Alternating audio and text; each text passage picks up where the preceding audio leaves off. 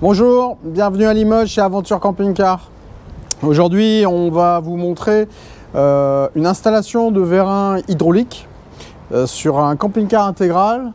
Euh, le porteur est un Mercedes et le véhicule est un M96 de chez Rapido. Donc, je vais vous montrer les installations, les différentes options qui puissent exister. Nous, on a choisi, le client a choisi d'installer sur ce véhicule des vérins hydrauliques non électro-hydrauliques et non électriques. C'est-à-dire les électriques, c'est des vérins électriques avec un moteur et un motoréducteur qui vont, sont très lents et qui n'ont pas la même puissance que des vérins hydrauliques. Ensuite, il y a d'autres modèles euh, qui existent sur le marché plus ou moins fiables avec euh, des systèmes euh, un peu innovants mais qui n'ont pas encore des, des, preuves de fonctionnement aussi fiables et aussi efficaces que le vérin hydraulique. Alors le vérin hydraulique, qu'est-ce qu'on fait? On installe quatre vérins hydrauliques, on va les voir, à des endroits bien précis, sous le véhicule, donc à partir avant.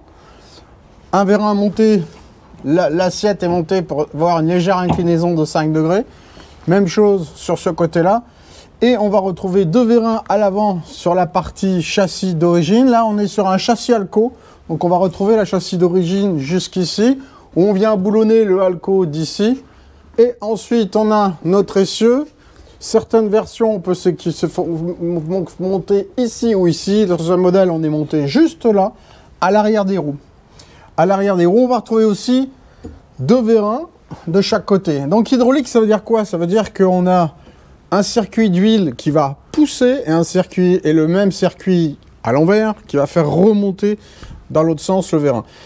Ça a un avantage, ça ça fonctionne à toutes les températures et ça, a une puissance de 5 tonnes par vérin. Donc on a, on, c'est pas, c'est pas le problème euh, du, poids du camping-car qui vient, qui vient là-dessus. On vient pas rajouter un poids monstrueux, on vient rajouter en gros une cinquantaine de kilos avec l'installation de la centrale. Nous, sur ce modèle-là, on n'a pas choisi d'installer la centrale dans le châssis, soit qui peut être installée ici, dessous ou là. Euh, on a préféré l'installer dans la cellule, je vais vous montrer à l'intérieur. Donc là, une installation comme ça prend un petit peu de temps. On passe tous les tuyaux hydrauliques, on les coupe à longueur, et ensuite on va aller voir la partie. Donc là, on a pu voir comment c'était fait sous le véhicule. Tout à l'heure, on va voir la mise à niveau. On va faire la mise à niveau. Donc on est sur la hauteur standard du véhicule, on ne touche nulle part. Hein. Lorsqu'on passe un dodan, forcément les vérins montent aussi en même temps. Donc on est sur la hauteur euh, donnée d'origine. On va descendre notre véhicule. Donc bien sûr, c'est du travail euh, qu'on fait sur pont, automatiquement. Et euh, ça, prend quand même une installation comme ci, prend quasiment une semaine.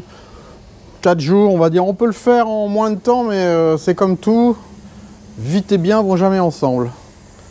Donc euh, c'est pas toujours facile de faire quelque chose qui demande euh, que ce soit fait correctement. Hmm, je sais pas faire en une journée. Euh, donc là on va avoir à l'intérieur, donc on a choisi de mettre à l'intérieur. Bon allez, on va entrer sur celui-ci. Donc on a logé, on a logé notre installation, toute la partie ici Allez, on va pousser le petit coussin. Tac. Tac et tac. Voilà. On a installé en fait sous la à côté de la batterie lithium. Voilà, on a installé notre partie hydraulique ici. Hein. On voit bien euh, le réservoir, la pompe, toute l'installation. Donc est à l'abri de la poussière, euh, de l'eau quand on roule sous le camping-car. Cette installation sous un véhicule, J'aime pas tellement faire ce type d'installation sous les véhicules. si on a besoin d'une intervention quelconque ou autre, euh, on a quelque chose de propre et qui vieillit bien et qui s'abîme pas. En même temps, vous remarquerez que ce véhicule a une batterie euh, lithium avec une 150 ampères avec une communication sur téléphone Bluetooth. Donc ça c'est très très bien.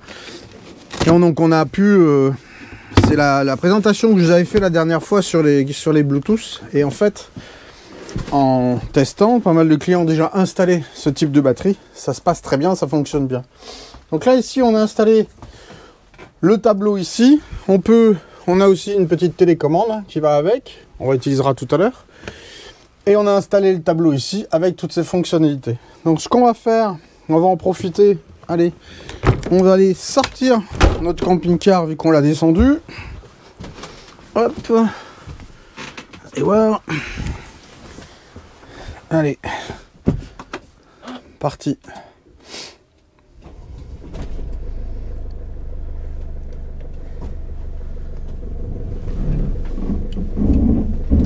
Voilà.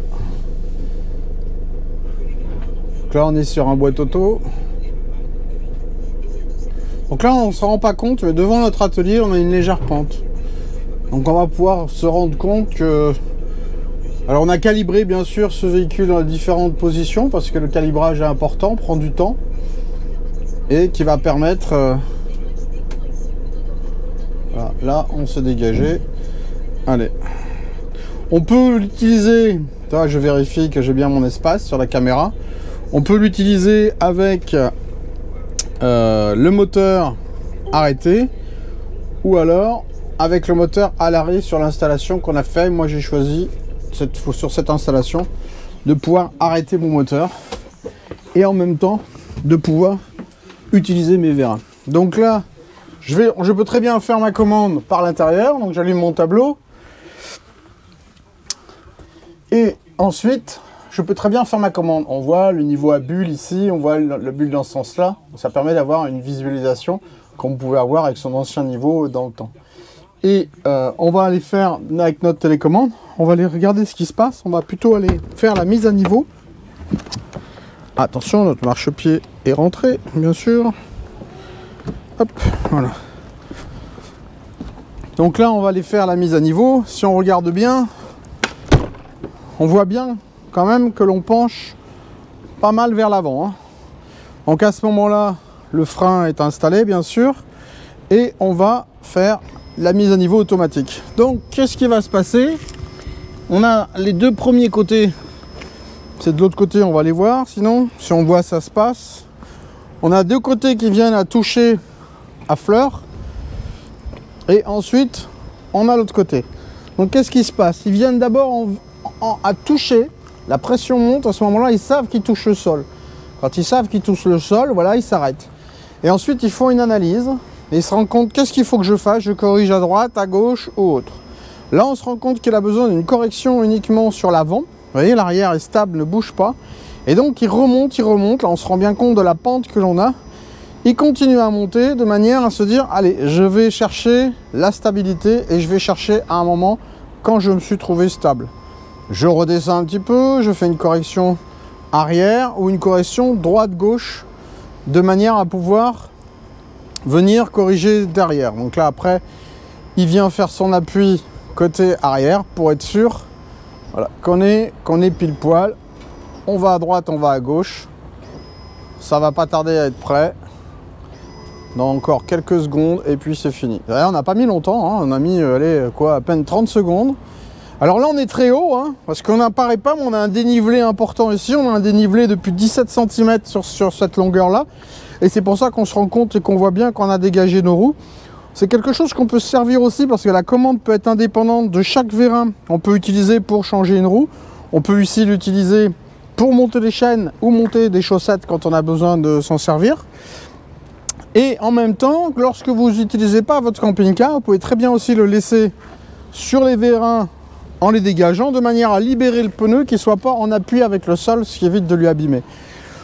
Donc voilà, là maintenant on est dans notre camping-car qui est de niveau, voilà, et qui est totalement à l'intérieur stable, ce qui fait qu'on n'a plus cette sensation qui bouge. on est un peu à l'exagération, on va dire, sur cette pente, parce que c'est vrai que cette pente est haute, mais on se rend compte, alors il faut éviter, lorsque vous êtes avec des vérins hydrauliques, éviter toujours les pentes on, est, voyez, on est toujours dans le sens descente ou dans le sens montée, mais jamais avoir une pente et se mettre comme ça de manière à ce que les vérins fassent ça parce que c'est quelque chose qui n'est pas bon du tout. On vient pousser en biais sur les vérins et ça ça va pas faire la, même chose. Donc là ensuite, eh ben, on va pouvoir les remettre en descente. Voilà. Oui. On remet, on appuie une fois, sur cela. Là, il se remet à niveau automatique. Là, c'est la remise à niveau automatique. Toc. Alors, ce qu'on veut lorsqu'on a bougé, on, peut, très bien lui redemander de se dégager un peu plus ce qu'il a fait. Et après cette, euh, euh, cette installation, eh ben, on va pouvoir redescendre. Voyez, on peut refaire une mise à niveau quand on va faire une correction. Alors si on est sur un sol mou, moi ce que je préconise toujours, là on était sur du goudron. Si vous êtes sur des cailloux, il faut toujours quand même nettoyer un petit peu la surface de manière à ce qu'il n'y ait pas de cailloux sous les vérins. Et lorsque vous êtes sur du sable, de la, de la terre, des choses, de l'herbe, essayez de faire des grandes cales. Des grandes cales assez grandes, 50 cm, avec une petite ficelle pour pouvoir les récupérer, qui vont s'enfoncer un petit peu, afin d'éviter que vous avez vu le diamètre des vérins et comme ça, afin que les vérins s'enfoncent pas trop dans la terre, parce que là vous allez descendre, il peut s'enfoncer jusqu'à 10 cm, j'ai fait l'expérience. En mettant par contre des grandes plaques en bois, que vous peignez fluo, qui vous évite de les oublier, ça vous donnera une grande stabilité. Voilà, on a remonté nos vérins, ça y est, c'est fini. C'était, vous avez c'est extrêmement rapide hein, par rapport aux vérins électriques qui vont mettre, euh, ils vont mettre 10 fois plus de temps, euh, largement, où on a besoin du moteur tournant. Là, on a très peu consommé, on n'a pas regardé sur notre batterie, on a une, pompe qui consomme très peu de courant, donc on a très peu consommé de courant. Et ben, on n'a plus qu'à partir à rouler, et la prochaine étape, se remettre à niveau. Voilà, euh, c'était une présentation que je voulais vous faire parce que c'est quelque chose qu'on fait assez souvent.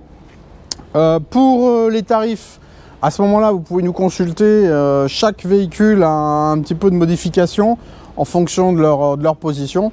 Donc n'hésitez pas à nous joindre si vous avez des questions.